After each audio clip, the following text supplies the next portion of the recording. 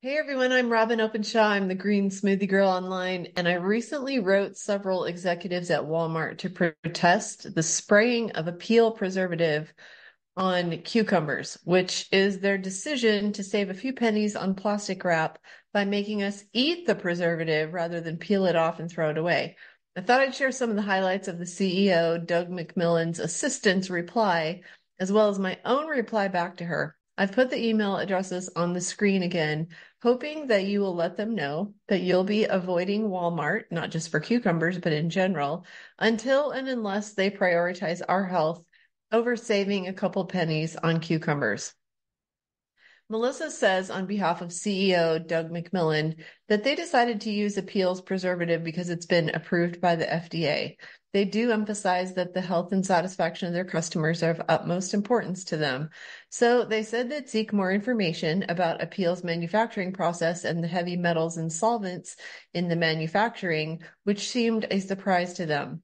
Melissa very politely says that she knows I might source my cucumbers elsewhere and invites any other questions and concerns to be sent to the customer support team. I wrote back, Dear Melissa and Doug, we do not whatsoever trust FDA calling five metals and two solvents on our food safe, and I hope that you'll reconsider, as hundreds of thousands of people who care about their children's and their own health are about to hear about this partnership, and you'll be hearing from many of them. You cannot choose the well being of your customers if you're forcing us to eat hardened synthetic fats, chemicals in a proprietary blend that Apeel has refused to disclose, and metals and solvents that we are then forced to eat if we buy your cucumbers. Apeel has been the subject of a great deal of social media virality, and we ask that you reconsider this partnership rather than lose millions of dollars of business while probably also not extending the life of cucumbers either.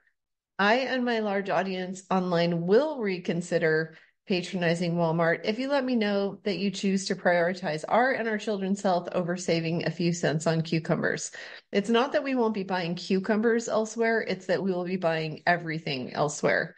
Apeel's founder has stated that his goal is that all the fruit in the world be dipped in his toxic concoction. My goal is to save people and children from being forced to eat toxic chemicals. I'll be happy to do more content for my 18 year influencer brand if you change your mind about dipping your cucumbers in Apeel. Thank you. Friends, please contact the decision makers at Walmart and also at Howling, the huge Dutch produce company who has partnered with Walmart on this. We're putting the email addresses up on the screen. Do let us know what you hear. And together, let's make our voice heard to protect our ability to buy healthy foods without toxic additives we can't even remove. Please grab the wallet card that we made below of store brands who've stood with us and promised to avoid all Apeel sprayed produce. As well as on the other side of the wallet card, we share store brands who refuse to answer us or who have been caught selling produce sprayed with Apeel. We change the wallet card every time we get new information. Thank you for being part of the resistance. If you're not and you're expecting someone else to do it, then I guess we deserve to eat vegetables and fruits coated with fake fats, solvents, metals, and actually who really knows since they won't say. So please just take a few minutes to write and or call the decision makers I'm putting up on the screen.